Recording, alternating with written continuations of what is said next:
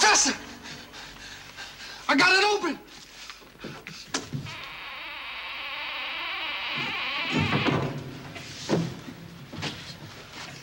Good heavens, man! Great Scott, we've discovered the fountain of all knowledge of Egypt in the entire world. You. Do you realize the importance of this moment, Smedley? Yes, sir, I do. Do you see the brilliance, the, the untold years? I see it, sir. Oh, Sir, That's his medicine! thank you so much. Thank you, sir. You slide. Look!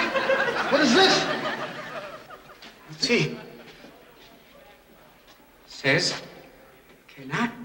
This is the elixir of life, sir. The Elixir of life? The cure for all diseases. Wait, let's see here. Wait, Give it to there's an me. inscription on the bottom. Give it to me. Give it. Open at other end. Lumix.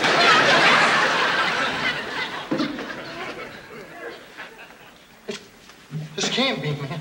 What? You know what this is? What is it, Buna? It's the book of life! Book of life. In the beginning, when man arrived on Earth, the black gods did leave their spacecraft and they walked and they named the beasts of the sea and the animals of the land. Heavens. And man in his blackness did walk the earth, making medicine. Medicine? They discovered time. These were all black people got down. Wait a minute. This ain't nothing in here about whitey. This is ours, Jack. Wait till the brothers hear this. Buna. I'm gonna get this book out of here, baby. This tells the real tea. Buna, Check this control out. yourself. Control yourself. Don't you What see? you mean, Jack? Look at this here.